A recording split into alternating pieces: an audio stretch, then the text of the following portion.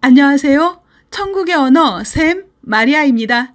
생각지도 못한 눈 수술을 하게 되었고 실명의 위기 가운데서 하나님의 도우심으로 새롭게 되었습니다.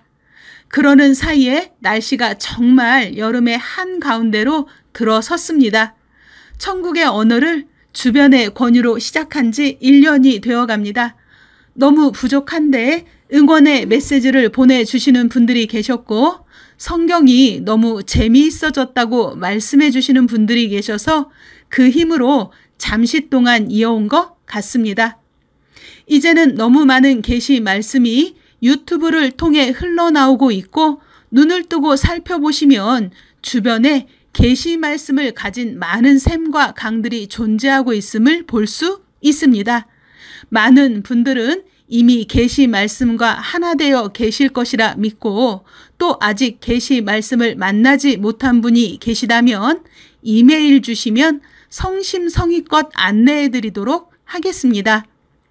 여러분, 과일, 수박도 어릴 때는 털이 있는 것 아시나요? 키워보면서 처음 알게 되었습니다.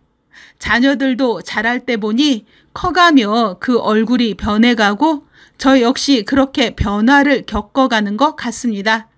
나비도 애벌레의 과정이 없이는 나비가 될 수 없듯이 저도 그렇게 변화되어가는 과정 중에서 천국의 언어를 지나갑니다.